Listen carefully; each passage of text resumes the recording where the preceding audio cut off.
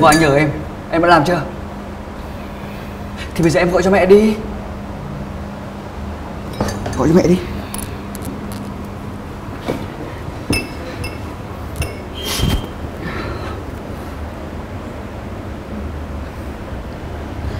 Alo, mẹ à?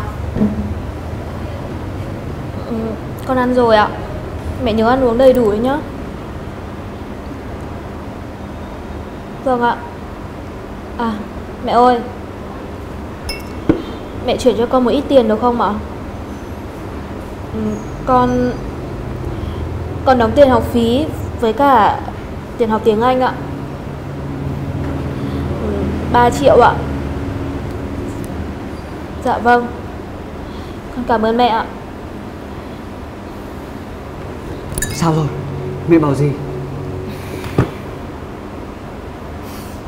Thế em có bảo với mẹ là chuyển tiền lên luôn cho không? Chứ anh là cần gấp lắm. Yên tâm đi nhá. Sau khi mà trả hết vụ này Anh chắc chắn sẽ gỡ lại được. Chứ làm gì có chuyện mình cho chúng nó tiền mãi được Đúng không? Anh này. Sao? Hay là anh đừng chơi mấy cái trò đỏ đen đấy nữa. Người ta bảo cờ bạc lô đề ra đê mà ở. Có ai giàu nhờ cái trò này đâu Em chả biết cái gì cả. Thế như em ấy Làm cái việc buông bê này Thì giàu lên được đấy. Nói bao nhiêu lần rồi? Nhưng mà năm nay năm cuối rồi. Lo tập trung học hành còn ra trường đúng hạn chứ. Mà mình cũng phải tiết kiệm tiền để còn lo cho đám cưới nữa chứ. Anh quên anh hứa với em cái gì rồi à? Anh quên làm sao được mà quên. Thì anh vẫn đang cố gắng đấy còn gì Cứ yên tâm đi. Khoảng một thời gian nữa nhá. Khi mà anh đã có nhiều tiền rồi ý, Anh chắc chắn sẽ cưới em. Đến khi đấy nhá Em không cần phải làm gì cả. Chỉ có cầm tiền Đi ăn, đi chơi Và đi mua sắm thỏa thích Được chưa? Em biết thừa là anh thương em nhất mà. Anh hứa rồi đây nhá. Được rồi Anh hứa.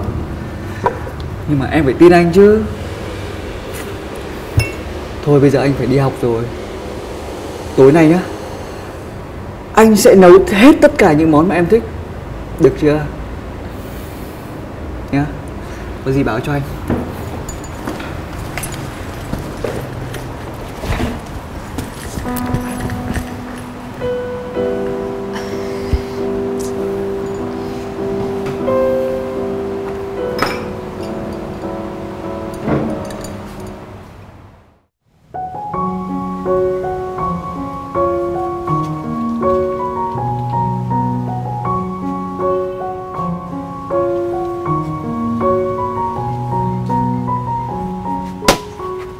Đây rồi, mày trốn đâu quá nhỉ?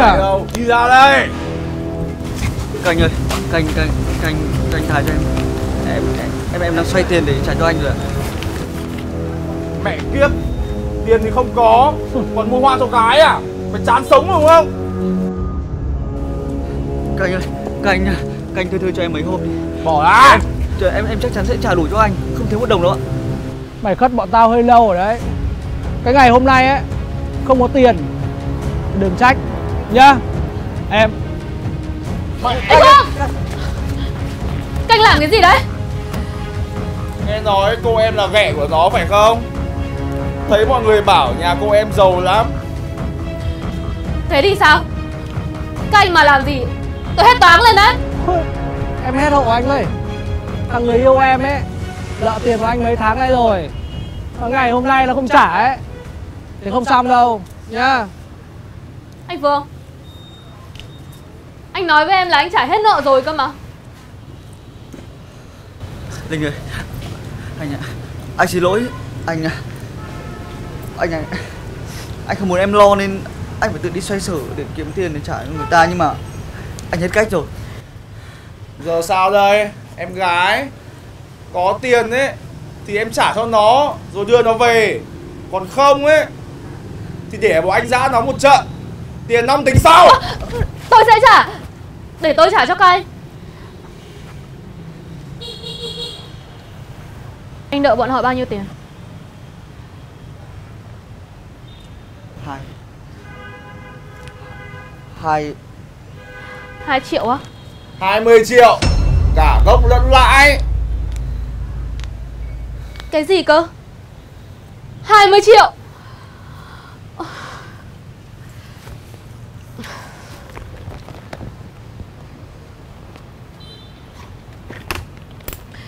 Trong thẻ này có đủ 20 triệu. Tôi trả cho các anh đấy. Em thấy không? Đời thằng con trai sướng nhất là lấy được con vợ giàu. Thôi, đi em. Mày sướng lắm đấy.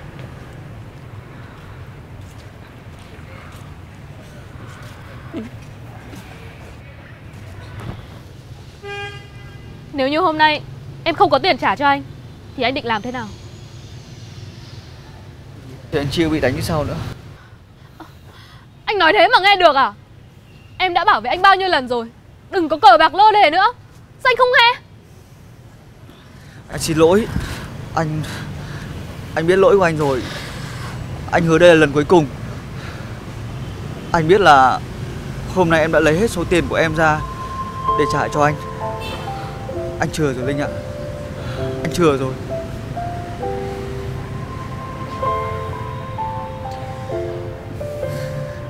Còn Còn bông hoa hôm nay anh mua Để tặng cho em đấy. Nhưng mà chúng Chúng nó dẫm rồi. Hay bây giờ thế này đi. Bây giờ về nhà, Anh nấu món em thích cho em ăn nhá. Được không?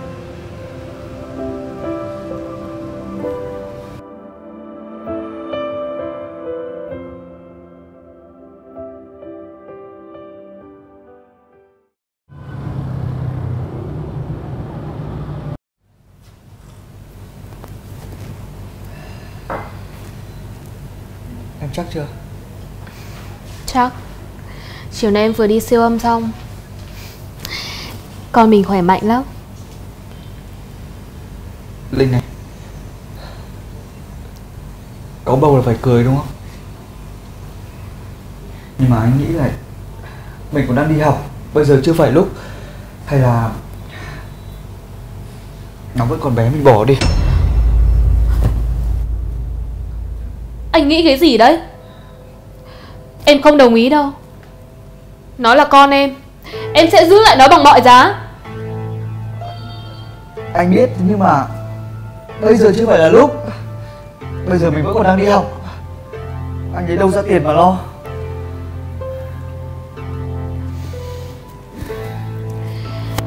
Chuyện kinh tế anh không phải lo đâu. Ừ. Nhà chỉ có mỗi mình em. Bố mẹ sẽ không mặc kệ em đâu ừ. Chỉ cần Anh đừng bèo rơi mẹ con em là được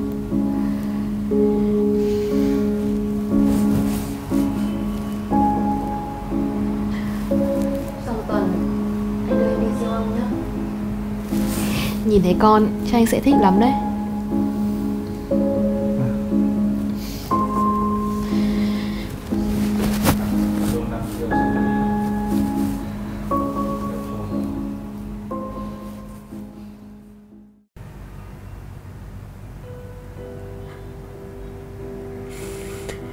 Qua kiểm tra cho thấy chỉ số đo ra gáy của em bé cao bất thường, có nguy cơ bị dị tật, cần phải tiếp tục theo dõi.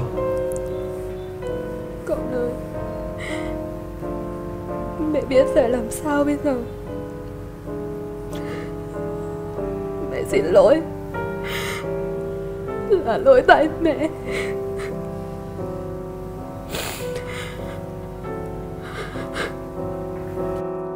Đấy cô thấy chưa Tôi đã bảo bỏ là phải bỏ. Tôi đã nói toạc ra cho cô như thế rồi Nghĩa là quá tình nghĩa với cô rồi đấy. Không. Bác sĩ bảo là Cần phải theo dõi thêm nữa mà. Chắc chắn là con mình sẽ không làm sao đâu. Cô thôi đi. Đừng có mà tự dối mình nữa. Bác sĩ đã nói như thế. Tức là khi nó sinh ra Nó không phải là quái thai thì cũng là dị tật thôi. Anh Phương Nó là con của anh mà Sao anh ác mồm thế? Con tôi á. Đến cái giờ phút này ấy, Thì tôi chắc chắn 100% đây không phải là con của tôi. Anh Anh nói cái gì cơ? Cô ấy Cô tưởng là tôi ngu á. Để mà cô định dắt mũi tôi đi á Không có chuyện đấy đâu Nói cho cô biết luôn nhá. Nhà tôi từ trước đến giờ ấy Ba đời đều khỏe mạnh. Con tôi sinh ra Không bao giờ là cái loại thật quái thai dị tật đấy được. Mà cô cũng giỏi lắm. Lăng nhăng với thằng nào ấy Bây giờ ra sản phẩm Định bắt thằng này đổ vỏ á. Khốn nạn! Ờ, khốn nạn đấy. Từ nay trở đi Cô không được thấy mặt thằng khốn nạn này đâu Biết chưa?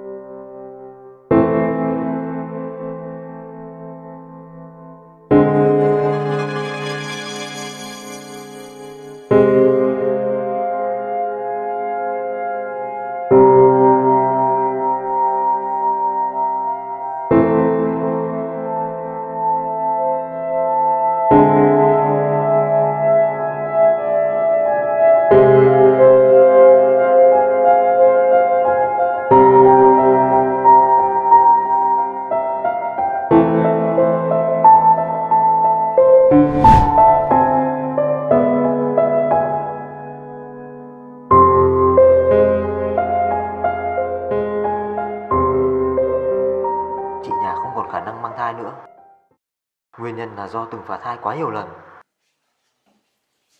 Đời chỉ cần tiền thôi Cần đếch gì con đâu Cô bị điên à?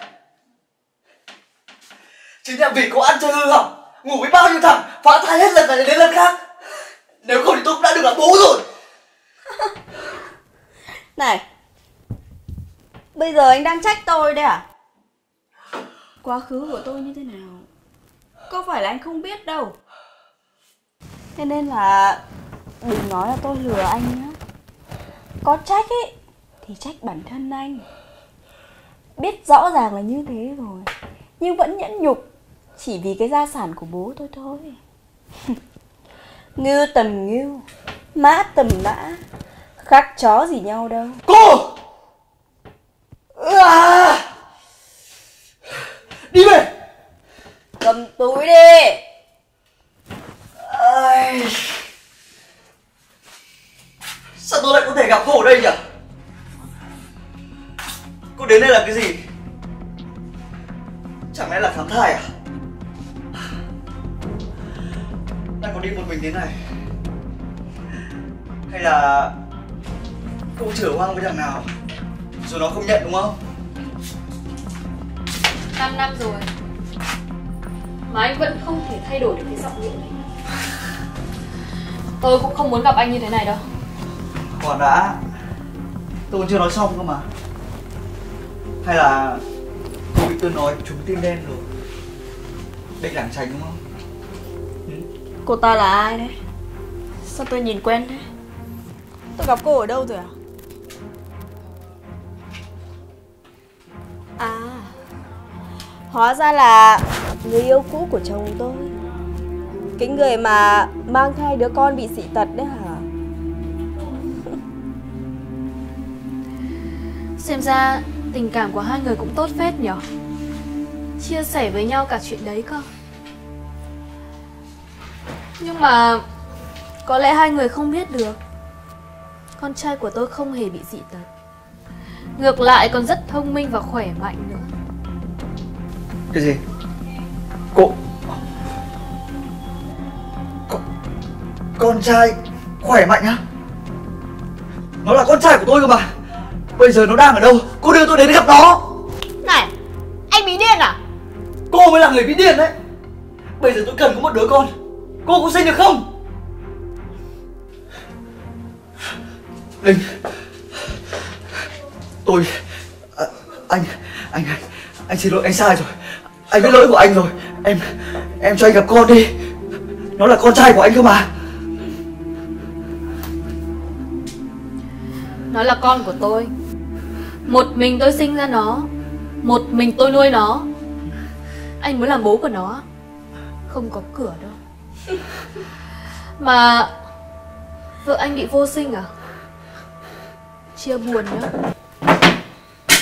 Này Mày thấy tao không đẻ được Nhưng mà mày chọc tức tao đúng không? Thế để tao nói cho mày nghe nhá.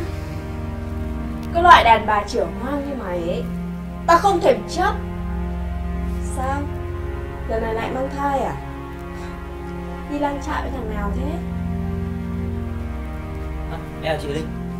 À, Anh Minh tìm chị cả công ty đã rồi đấy ạ. Vậy à? À, Em là sếp ạ. Anh. Ơ, xong rồi đứng cả đây. Anh xong việc rồi, mình về thôi em. Vâng ạ.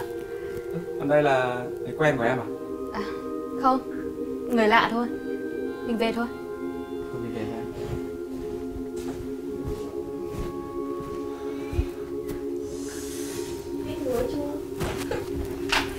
Biết hứa chưa à, Vô dụng